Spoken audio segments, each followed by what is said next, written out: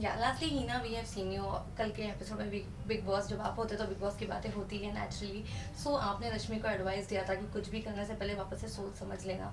So I just told her that you make mistake once you don't repeat that mistake.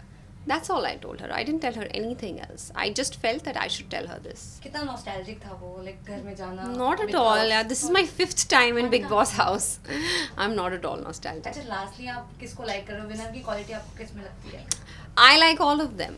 I all I have always been very clear that I have no favorites. Okay, फिर भी जीतने की chances किसके Monika Monika I really don't know, but I think I see um, Asim, Siddharth, Paras, and Shahnaz in top four. मेरे हिसाब से the way they are playing. अभी Christmas new year आ रहा है तो क्या कुछ है like any plans or something if you would like to share? Hi, this is Hina Khan, and you're watching me on Filmy Beat. And all the viewers of Filmy Beat wish you a Merry Christmas and a very Happy New Year.